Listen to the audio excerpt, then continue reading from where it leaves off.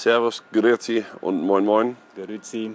aus der Schweiz. Tag 4 beginnt, ne? der vierte Tag. Und wir haben erneut eine ganze Menge zu erzählen. Lange bevor der Rest des Hotels wach wird, denkt man, nein, es sind schon zwei Leute hinter uns da.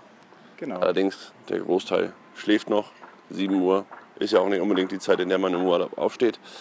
Äh, wir haben keinen Urlaub, wir müssen hier arbeiten und wir arbeiten hier gern und wir haben hier auch eine ganze Menge zu berichten. Gestern Nacht spät kam der heiß erwartete Neuzugang aus Leverkusen, Ex-Leverkusen. Er hatte ja keinen Vertrag mehr, aber er kam an.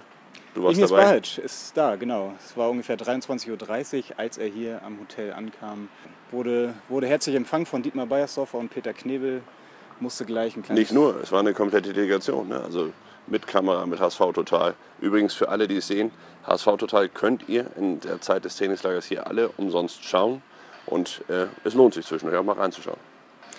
Interessant wird natürlich heute auch sein, ähm, Wallon Barami soll heute kommen. Es soll heute kommen, Es genau. gab im Vorfeld ähm, viele Diskussionen, kommt er überhaupt, will er überhaupt kommen, soll er überhaupt kommen. Der letzte Stand gestern Abend, 22 Uhr, war ja, er kommt. Er Was kommt, er hat noch keinen neuen Verein. Also er muss kommen. Bruno Labbadia hat gesagt, er ist ein Spieler des Kaders wie jeder andere auch. Wenn er denn keinen Verein findet und äh, zum HSV stößt, Vertrag läuft noch. Insofern, was soll man auch sonst sagen? Es wird so äh, formuliert, was am Ende dabei rauskommt. Es gibt ja immer wieder diese schwierigen Geschichten mit Flugverspätung und dergleichen. Und am Ende ist der Spieler dann doch noch bei einem anderen Verein untergekommen. Der HSV hofft darauf, das kann man sagen. Der HSV hofft immer noch darauf, dass er aus dem Transfer mit äh, Berami Gelder äh, generieren kann, die er dann für andere Transfers benutzen kann. Gestern hatte ich die Möglichkeit, mit dem äh, Berater von Maxim zu sprechen. Das ist der erklärte Wunschspieler von Bruno Labbadia, den er in Stuttgart damals auch hochgezogen hat. Er hat ihn zum Profi gemacht. Maxim würde sehr, sehr gerne nach Hamburg kommen. Das sagt der Berater auch. Ähm, der Berater sagt allerdings auch, dass die Vereine natürlich sich erstmal einigen müssen. Und dort liegt natürlich noch eine, Mang eine Menge äh, äh, Diskrepanz. Und zwar fordert der VfB Stuttgart den ihm nach 6 Millionen Euro.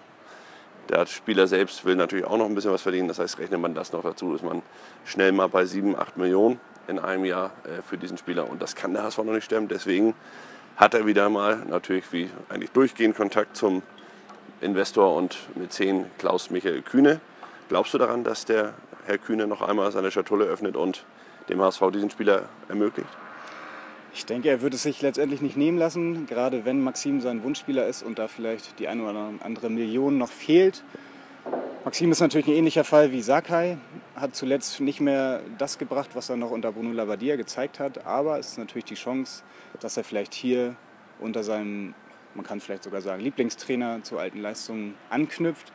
Und von daher, wenn er Herrn Kühne davon überzeugen kann, vielleicht öffnet er da doch noch Ich muss allerdings sagen, Maxim ist ein Spieler, wo ich mich immer sehr gewundert habe, warum er nicht gespielt hat. Und ich habe auch mit Hüb Stevens mal darüber gesprochen kurz und gefragt. Und da hat er gesagt, dass äh, es natürlich immer toll aussieht, wenn ein Spieler nach vorne tolle Sachen macht. Und bei Maxim ist das zweifellos so. Der ist sehr schnell, er ist relativ zweikampfstark. Er gewinnt die Bälle auch mal in, in der Rückwärtsbewegung, um wieder schnell nach vorne zu kommen. Allerdings, sagte Hüb Stevens, hat er ein nicht allzu äh, diszipliniertes Defensivverhalten. Und wer Hüb Stevens kennt, weiß, dass der großen Wert auf gerade das legt. Insofern, ja, Maxim hat die Qualität, die Bruno Labbadia will, nach vorne. Ihm fehlt es vielleicht ein wenig nach hinten, aber ansonsten glaube ich, wäre das ein Spieler, der dem HSV sehr, sehr, sehr gut tun kann. Ähm, ob er 6 Millionen schon wieder wert ist, Das Problem bei der Sache natürlich wissen die anderen Vereine auch, dass der HSV einen Mann wie Kühne im Hintergrund hat, der vielleicht eventuell noch bereit ist, da etwas dazuzugeben. Von daher ziehen sich die Verhandlungen mit den Vereinen da doch immer länger hin als eigentlich gedacht. Ähnlich ist es mit Emil Berggren, dem Dänen von Eintracht Braunschweig, ein junger Stürmer, ein talentierter Stürmer, der sich mit dem HSV einig sein soll. Aber auch hier ähnlicher Fall. Er kostet eine Million Euro. Das ist dem HSV zu viel. Aber Eintracht Braunschweig schaltet im Moment auf Stur und äh, sitzt da auch am längeren Verhandlungshebel. Ja, aber im Endeffekt muss man sagen, dass äh, der Spieler erst ein halbes Jahr in Braunschweig ist. Dabei ist er aufgefallen, auch äh, den HSV-Verantwortlichen, wobei man sagen muss, dass die H der HSV nicht der einzige Verein ist, der hinter Berggren äh, her ist. Insofern wird es dort auch wieder ein kleines Wettbieten geben. Ähm, ob es dann am Ende zu einer Ablöse von einer Million Euro langt, äh, das weiß ich nicht. Bewage ich auch zu bezweifeln. Ich glaube, dass der HSV aber trotzdem beste Chancen hat, denn man kennt es, wenn ein Spieler mit einem Verein schon so weit ist, so weit einig ist, dass eigentlich alles klar ist. Wir kennen es von Chalanoglu, wir kennen es von hoffentlich nicht, aber offensichtlich entwickelt es sich in dieselbe Richtung von Tar. Ja, warten wir ab. Wir Auf jeden ab. Fall. Heute will sich Dietmar Beiersdorfer äußern. Heute Genau, Mittag. heute Mittag werden wir mit ihm sprechen. Da die eine oder andere Neuigkeit erfahren, wie es gerade in diesen Personalien weitergeht. Ich würde sagen, wir gehen jetzt erstmal frühstücken, während gleich im Hintergrund die HSV-Spieler, da sind sie auch schon, Sie ihre, kommen schon. ihre Stabilisationsübungen machen und danach geht es zum Training, heute Vormittag um 10 und heute Nachmittag dann die zweite Einheit mit Emir Spahic, mit Johann Joru Genau.